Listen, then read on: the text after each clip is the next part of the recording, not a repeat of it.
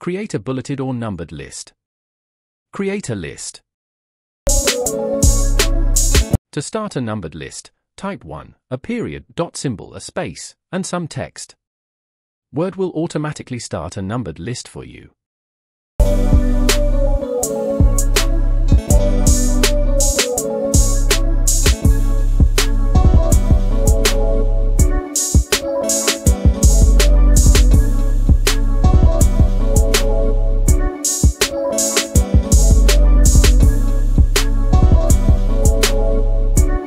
Type asterisk and a space before your text, and Word will make a bulleted list.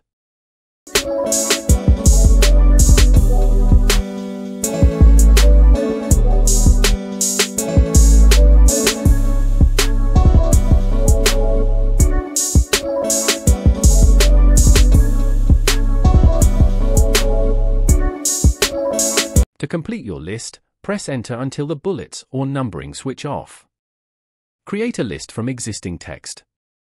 1. Select the text you want to change into a list.